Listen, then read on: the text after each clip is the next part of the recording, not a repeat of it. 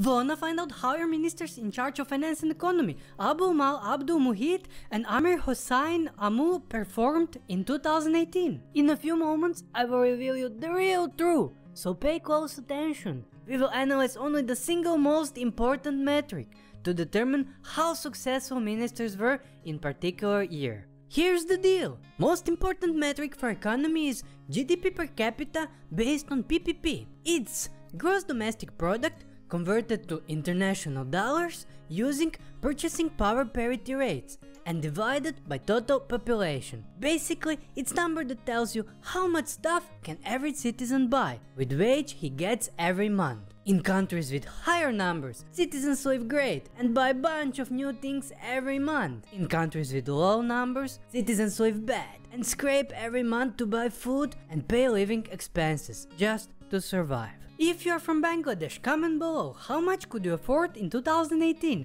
and were you satisfied with that? Now, our data source will be IMF's GDP per capita based on PPP rankings report. IMF stands for International Monetary Fund. We will analyze two main factors. Position in 2018 GDP per capita based on PPP rankings and change in rankings. Based on those factors, all ministers get grades. Grades are Phenomenal, which is the best. Amazing, excellent, great, good. Then fair, which is neutral. Mediocre, poor, bad, awful, and abysmal, which is the worst. If country dropped ranking from last year, ministers can get positive grade. Is that clear? And now are you ready? Bangladesh ministers in charge of finance and economy, Abul Maal Abdul Muhith and Amir Hossain Amu in 2018 performed, drumroll wait for it, fair. You can best visualize it by seeing how high this red arrow is. And now few numbers. Their score was 686 and they ranked 85th among all economy related ministers. Bangladesh was ranked 144th in 2017, which is very low and in 2018 they gained 2 places to 142nd place. So as you can see, it's a fair job. Your ministers are making you richer.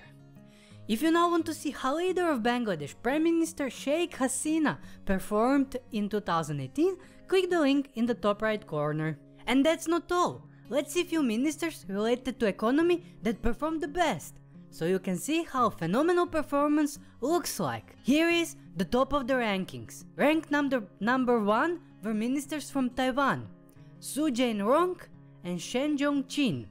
They did phenomenal job and Taiwan recorded jump of 3 places in the ranking.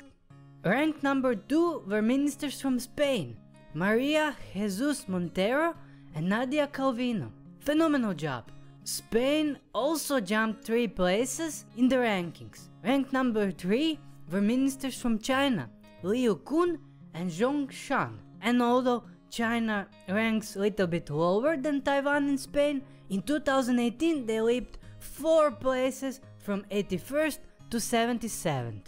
Now, before you go and watch next video, remember to subscribe and click bell icon so you don't miss new 2019 rankings. I will analyze 2019 performance as soon as new IMF ratings become available. Bye!